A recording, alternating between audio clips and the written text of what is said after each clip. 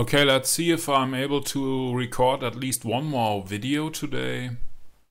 I have tried to move my whole system from Windows 10 to MX Linux today, and that actually didn't went very well. I had to fix some things that didn't really work.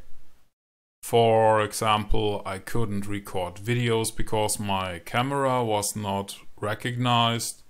I couldn't record audio because my recording device was not properly connected. And I needed to find a way to move all the video files to the place where I can access them with my video editing program. So that was not something that took only a few minutes. Actually, it took me the whole day and it wasn't the first day.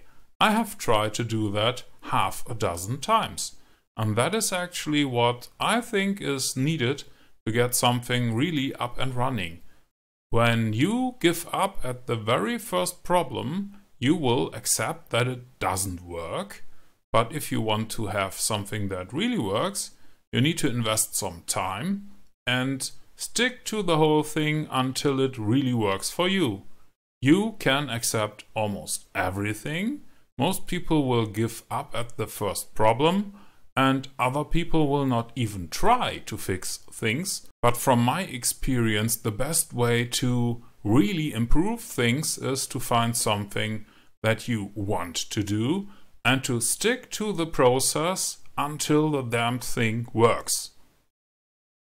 That may take a lot of time and you may have to invest some money and effort. But once you have something that you really can believe in, it is no problem to scale up things.